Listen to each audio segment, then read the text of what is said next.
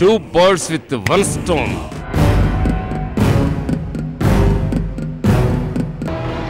చేతికి చిక్కాడు చావు తప్పించుకోలేడు అనుకున్నామే గాని సహదేవ్ డెత్ని ఇంత త్వరగా ఎక్స్పెక్ట్ చేయలేదు సార్. యు ఆర్ రైట్ వాడి చావు అమాంతంగా అర్జెంటుగా ముంచుకొచ్చింది. మంచి జరిగింది. న్యాయం జరిగింది. అది వెంటనే జరిగింది. శివశంకర్కి ఈ న్యూస్ విని హార్ట్అటాక్ వచ్చిందంట సార్.